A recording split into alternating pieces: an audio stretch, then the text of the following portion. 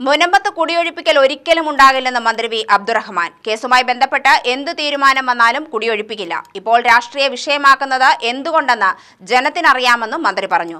സുരേഷ് ഗോപിയുടെ പ്രസ്താവനയ്ക്കെതിരെയും അദ്ദേഹം മാധ്യമങ്ങളോട് പ്രതികരിച്ചു. പ്രശ്നത്തിൽ ഇടപെടാൻ ഇതുവരെ സുരേഷ് ഗോപി തയ്യാറായിട്ടില്ലെന്നും ഇപ്പോൾ ഒരു ആക്ഷൻ ഹീറോയെ പോലെ വന്ന ഇറങ്ങി പറയുന്നത് കേന്ദ്രമന്ത്രിക്ക് ചേർന്നതല്ലെന്നും മന്ത്രി പറഞ്ഞു.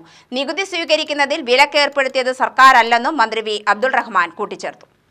വഖഫുമായി ബന്ധപ്പെട്ട കൃത്യമായിട്ടുള്ള വിവരങ്ങൾ നമ്മൾ മൂന്ന് മാസങ്ങൾക്ക് മുമ്പ് തന്നെ എല്ലാ പത്രങ്ങൾക്കും നൽകിയിട്ടുണ്ട്. അതിലെന്താണോ നയം അതിൽ കൃത്യമായി തന്നെ പറഞ്ഞിട്ടുണ്ട്. അപ്പോൾ ഓരോ സമയത്തും ഇതിന് ഇപ്പോൾ ഏറ്റവും നല്ല സമയമാണ് രാഷ്ട്രീയമായി മുതലെടുക്കുക. അതാണ് ഇപ്പോൾ നടക്കുന്നത്. ഈ മുനമ്പം മാത്രമല്ല ഈ തളിപ്പറമ്പ് ഉൾപ്പെടെയുള്ള സ്ഥലങ്ങളിലേക്ക് വരുന്നില്ല അതായത് അവിടെ തലപ്പറപ്പ് തലപ്പറപ്പിൽ എന്താ പ്രശ്നം? അവിടെ ഉൾപ്പെടെ അവകാശവാദം? ഈ വക്കഭൂമി എന്താണ്?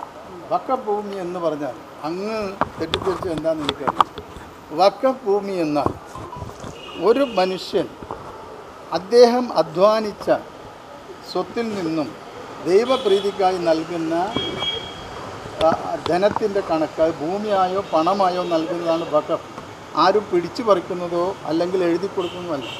സ്വന്തം ഇഷ്ടപ്രകാരം ഇത് ഞാൻ ദൈവത്തിങ്കിൽ കൊടുക്കുന്നു. ഇതുമായി ബന്ധപ്പെട്ട സ്ഥാപനങ്ങൾ കൊടുക്കുന്നു എന്ന് പറയുന്നതാണ് വക്കഫ് അല്ലാതെ ആരെയും പിടിച്ചെടുക്കുന്നതല്ല വഖഫ് അപ്പോൾ അതിലാണ് തർക്കം. അതാണ് കോടതിയിലുള്ള തർക്കം. ഒരാൾ വകഫ് കൊടുത്തോ ഇല്ലയോ എന്നുള്ളതാണല്ലോ ഇപ്പോൾ കോടതിയുടെ പരിഗണനയിലെ വിഷയം എന്താ? അത് വകഫാണോ അല്ലയോ അവിടെ നിലവിലുള്ള ആളുകൾക്ക് റൈറ്റ് ഉണ്ടോ അല്ലേ? ഇതല്ലേ പരിശോധിക്കേണ്ടത്. അപ്പോൾ വകഫ് എന്നുള്ളത് തെറ്റായിട്ടുള്ള രീതിയിലുള്ളൊരു പ്രചരണം നടക്കുകയാണ്. നിലവിലുള്ള അറുന്നൂറ്റി പതിനാലോളം കുടുംബങ്ങളെ അവരെ സംരക്ഷിക്കുക എന്നുള്ളതാണ്.